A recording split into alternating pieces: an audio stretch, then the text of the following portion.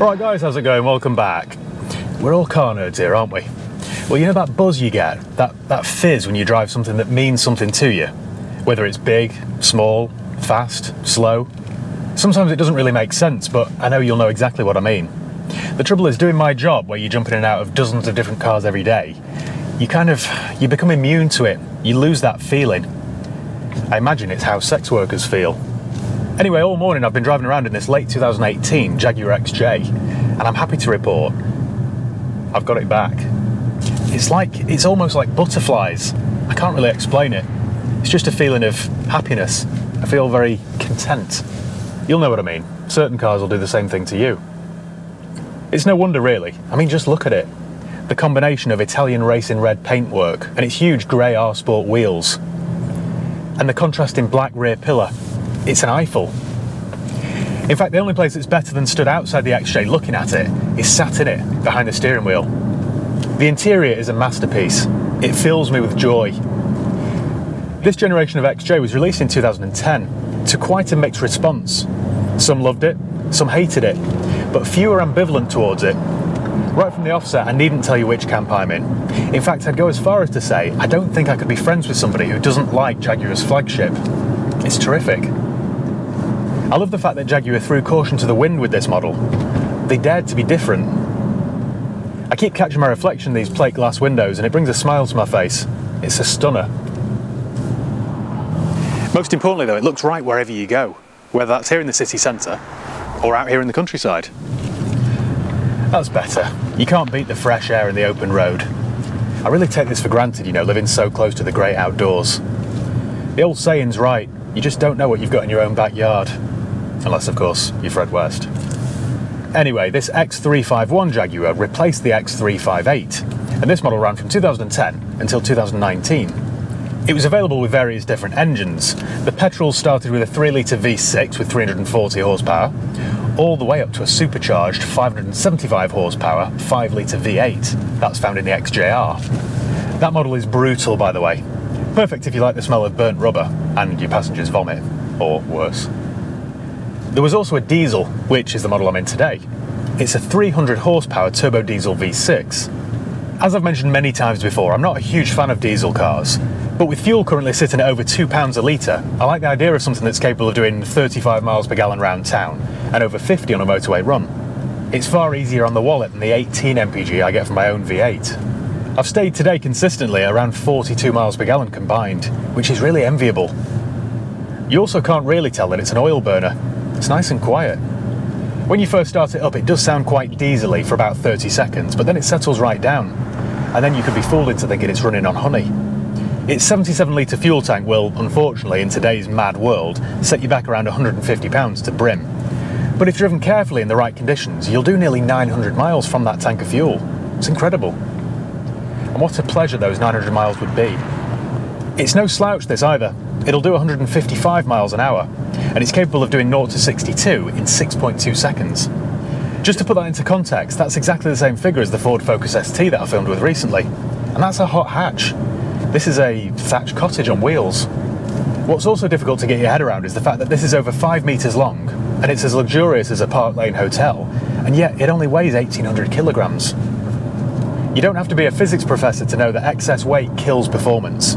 That's why something like a Lexus LS handles like a cruise liner. And this, this doesn't. It's genuinely sporty. It feels really agile. You can properly hustle this thing along. I cannot tell you how enjoyable an experience this is. In fact, yes I can. What am I talking about? This is a very enjoyable experience. There you go. How's that? If you intend on being chauffeured around in this rather than driving it yourself, in all honesty, you're better off going with a Audi A8 long wheelbase or a Mercedes S-Class. How is it back there? It's actually better than I thought. There's plenty of legroom. Headroom isn't brilliant because the roof slopes down, but it's all right. Seats are very comfortable. I've also got heated and cooled seats back here as well. If you're absolutely adamant though you want to be chauffeured around in the big cat, then you're better off going for the XJL. That's the long wheelbase version of this car, and it gives you an extra 10 centimetres of legroom in the back. Personally though, I wouldn't bother because this is one car that's been designed for the driver. I also don't like the look of long wheelbase cars in general. they just look a bit odd. The proportions look off. They look like they've been through a mangle. And really, this is plenty big enough anyway, without turning around an extra six inches of carpet and air.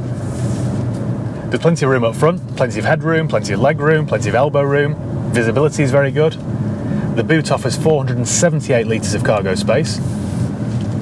Early models were fitted with a six speed automatic gearbox, but from 2012 onwards, that changed to an eight speed.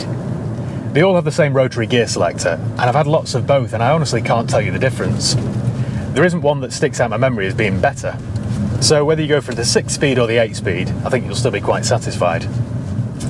Obviously the 8 speed's newer and on a run you'll get an extra couple of miles per gallon. So, as with everything, I suppose it's better to go with the newest one you can afford. But I wouldn't get bogged down in that small detail. This is the latest XJ I've ever had though, and what has greatly improved over the years is the technology. All of them come with a digital gauge cluster and the touchscreen infotainment screen, but this facelifted model comes with the latest screens. In fact, it looks identical to my facelifted L405 Range Rover. If I were in the market for an XJ, I'd try and find one from 2017 onwards, because it greatly benefits from this updated tech. For example, the clarity of the reverse camera compared to the early models is like putting on glasses for the first time. It's the same story with the gauge clusters, and it's fully customizable so you can change the layout. It just helps to keep the XJ up to date. I'd recommend you go for a high spec model, either an autobiography, a portfolio, or a sporty R Sport model like this. The base model luxury and the middle of the road premium luxury, they're okay, but on a car like this, you want all the toys. This R Sport model has all the trappings of success. For example, you've got a nice suede headlining, a sunroof, reverse camera, a heated steering wheel. I could live with this. Okay, right, I think I've sang this car's praises enough. Time for a couple of punches. Firstly, then, some of the buttons and some of the interior trim feels a bit, a bit cheap, a bit hollow. The exterior door handles are the same. They feel a bit, what's the word? French. Also, with age and use, the surface of all these buttons wears off. It hasn't done on this one because it's only done 19,000 miles. But I've had some that have done 100 or 120,000 miles, and you can't tell what the buttons are for. The next issue is the ride quality. It isn't as soft as you'd expect. I think it's a good compromise between sportiness and comfort. But if what you're looking for is a soft, pillowy ride, then you're out of luck. There's also no 360 camera, there's no massaging seats, the sunroof channels rust, the window regulators and door latches are about as reliable as a politician's promise. But, but, but, but, none of that matters. The car is so good in general, it's worth putting up with a few dodgy door latches. It's such a good all-rounder. It's complete. In terms of engine and gearbox reliability, the early V8 suffered with bad timing chain guides. The diesels have weak cranks, although I'm just parroting there what I've read in the comments section. I've had lots of these and I've never had any issues. Touch wood. The gearboxes are quite reliable if looked after. In fact, the same is true of the rest of the car. In fact, the same is true of most cars, isn't it? The diesels have a timing belt which needs to be replaced every 105,000 miles or 8 years, whichever's soonest. That'll set you back around £400 for a new one. I'd recommend getting the gearbox serviced every 80,000 miles, there or thereabouts. And, and I change the oil and filter at least every 10,000 miles or 12 months. I'd also recommend running it on premium fuel, something like Shell V-Power. I know it's more expensive, and fuel's ridiculously expensive at the moment, but it is worth it. At least do it every other fill up. Give it half a chance. And the rest really is down to luck. I wouldn't let other people's horror stories put me off. I'm a realist. Used prices here in the UK start at around £5,000, but I wouldn't buy one for five grand. I'd spend around £10,000 to get yourself a half decent one. For one like this, this is a late 2018 R Sport model with only 19,000 miles. This will set you back around £35,000, which I know is a lot of money, but if you compare this to a 2018 2019 Range Rover with similar miles, that'd set you back around £70,000 or more. It makes the XJ look good value, doesn't it? One thing I've noticed about the XJ is you can comfortably buy it whatever age you are. In metallic champagne in portfolio spec, it'll appeal if you still remember rationing. And in a sporty spec like this with the big wheels, it appeals to people who know who Stormzy is. There's an XJ for everybody. Well, I think that's about it. Actually, no, it's not. I do have one question in case Jaguar are watching. Why, oh, why did you stop making the XJ? As somebody rightly said in the comments section on my Instagram when I posted a picture of this car, it's a bit like when your favourite TV show ends. You just feel a bit lost. Jaguar have lost serious market presence by not offering a luxurious limousine. I just don't get it. I mean, what's John Prescott supposed to drive now? To be fair, I love all the big barges the 7 Series, the A8, the S Class, the Lexus LS.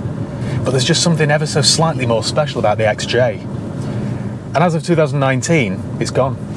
And I don't think we'll see another. And on that sad note, thank you once again for watching. You know, I recently watched back my first XJ video that I did a few years ago just to make sure I didn't repeat myself. That video, by the way, is up to 737,000 views. Can you believe that? So it seems slightly surreal to be saying thank you once again as we hurtle towards the 200,000 subscriber mark. It's mad, isn't it? Thank you for joining me on this journey. And yeah, thanks for your continued support. So, cheers, guys. We'll see you next time.